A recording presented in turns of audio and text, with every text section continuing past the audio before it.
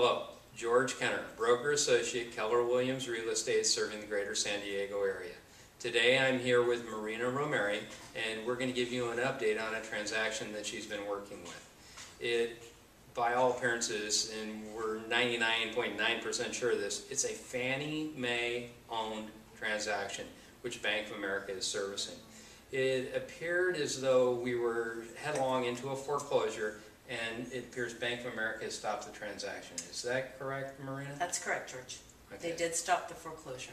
Okay, so we're in the process, or you're in the process of presenting another offer to the bank at this point in time, correct? Yes, they're actually working on an approval for us right now. Okay, mm-hmm. so it really appears as though Bank of America came to our rescue, is that correct? They did, they did. And you'd like to say thank you to Bank of America I would like to say thank you to Bank of America and especially thank you to George Kenner and his uh, uh, ability to just press on when uh, we thought we were ready to give up.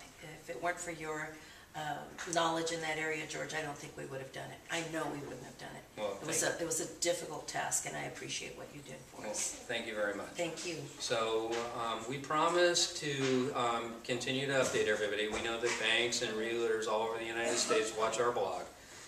And uh, as this de- continues to develop, we'll let you know.